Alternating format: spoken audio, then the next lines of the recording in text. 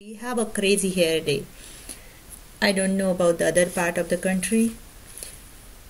So we are making it at on the drawing. It's a little bit challenging but we are doing it. So I color it out. I got another sheet here.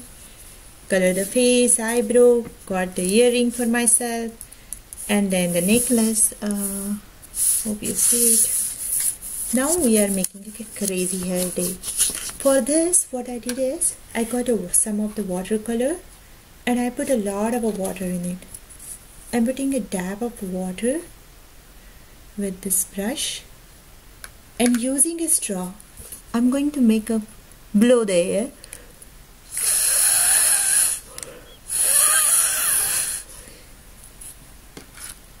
so that's how I'm going to make my crazy hair. And it is going to be a colorful hair too.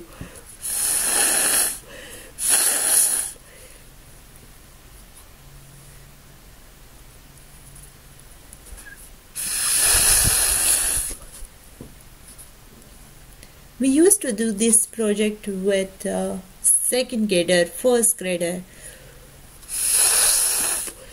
Also it is one of the summer activity for the kids too.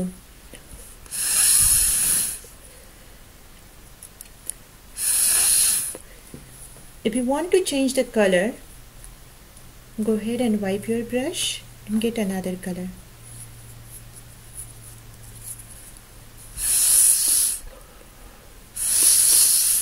Notice how the red color shows the pink on the white because we put a lot of water in it.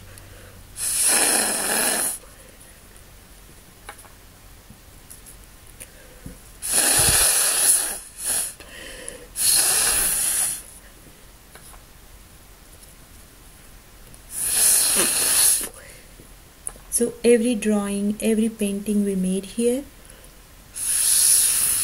is going to come out differently. And kids go and blow the water put the drop in of the color and make it the blowing it's so much fun to watch them. If I put it on here as I use the crayon it will not stick it as it shows outside but at the same time it goes in a one droplet so I try to put it outside area.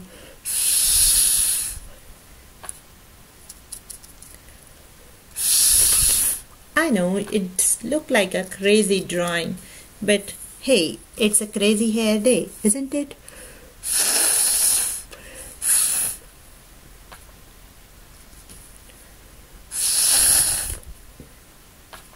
you can use as much color as you want.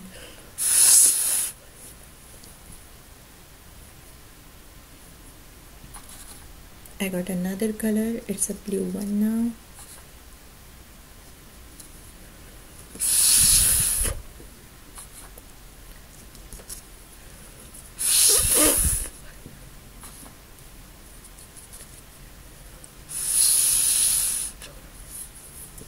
and there you go.